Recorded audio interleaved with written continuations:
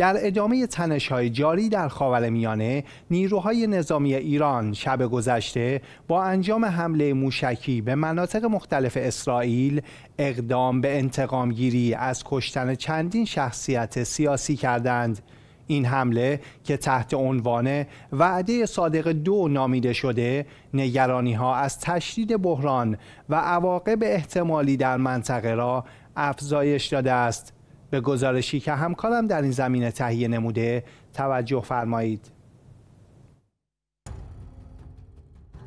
نیروهای نظامی ایران در یک سلسله اقدامات تحت عنوان وعده صادق دو به طور مستقیم از خاک این کشور به مناطق مختلف اسرائیل حمله موشکی کردند. این حمله که به نظر می رسد به منظور انتقام از اسماعیل هنیه، سید حسن نصرالله و عباس نیل فروشان تراحی شده از سوی شورای عالی امنیت ملی ایران تصویب شده است. بر اساس گزارش ها برخی از موشک ها توانستند از سیستم دفاعی گنبد آهنین اسرائیل عبور کنند. در پی این حمله آژیرهای خطر در اسرائیل به صدا درآمد و ساکنان به سرعت به پناهگاه ها رفتند. هنوز از خسارات دقیق این حملات گزارش دقیقی به دست نیامده اما ظاهرا در این حملات دو اسرائیلی و سه اردنی زخمی و یک فلسطینی کشته شده است.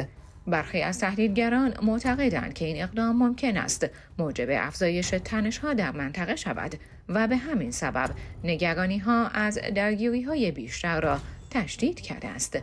نیروهای نظامی ایران در بیانیه ای اعلام کردند که در صورت هر گونه پاسخ از سوی اسرائیل این حملات را تکرار خواهند کرد.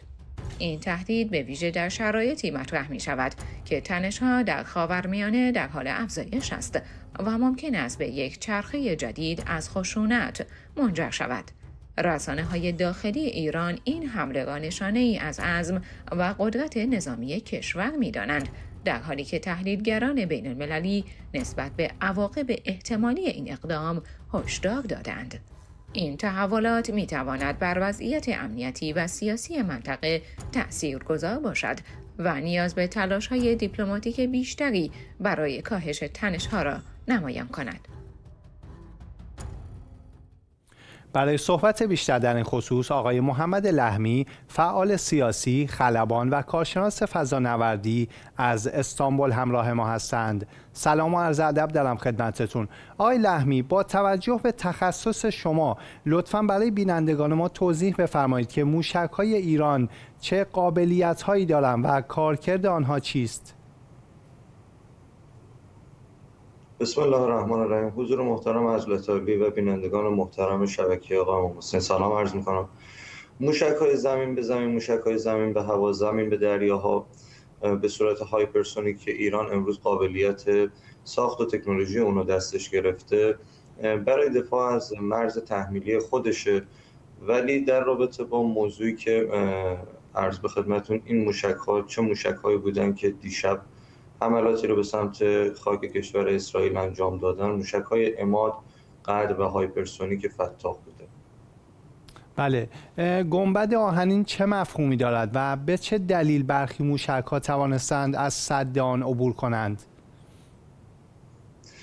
گنبد آهنین یک سامانه پدافند هواییه که فاصله بین 4 تا 70 کیلومتری رو و موشک هایی رو که حالا به صورت زمین به زمین یا زمین به هوا بهش به خاک کشور اسرائیل نزدیک میشن و هدف قرار و سال 2011 با تقریبا حدود 200 میلیون دلار کمک بلاعوض کشور ایالات متحده یادگاری جنگ 33 روزه ایران و اسرائیل. این سامانه کلید خورده شد. و سال 2019 کشور امریکا این پدافند هوایی رو به در بعد از تصویب در مجلس سناش از کشور اسرائیل خریداری کرد که اون رو به صورت پاتریوت امروز در آورده و برای دفاع از سامانه هوایی خودش استفاده می‌کنه.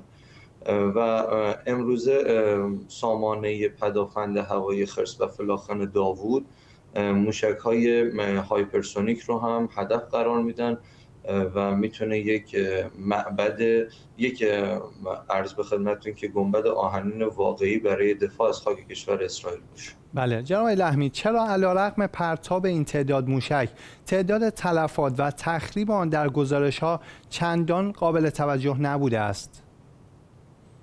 سامانه هوایی گنبد آهنین کشور اسرائیل که توسط شرکت رافائل این تکنولوژی ساخته شده از سال 2011 که عرض کردم داره به تکنولوژی این روزانه اضافه میشه قابلیت تشخیص این که یک موشک حالا چه به صورت بالستیک و چه به هر شکل دیگه به خاک این کشور زمانی که می‌خواد برخورد کنه اگر در منطقه مسکونی یا در منطقه نظامی بخواد این موشک هدف قرار بگیره اونو در دم از بین می‌بره. اما اگر بخواد به مناطق خالی از سکنه قرار بگیره این موشک رو رهگیری نمی‌کنه و اجازه میده که به هدفش که هدف خارج از سکنه هست عرض بزرگتون که پرتاب بشه. بله ممنونم از شما محمد لحمی فعال سیاسی خلبان و کارشناس فضانوردی از استانبول.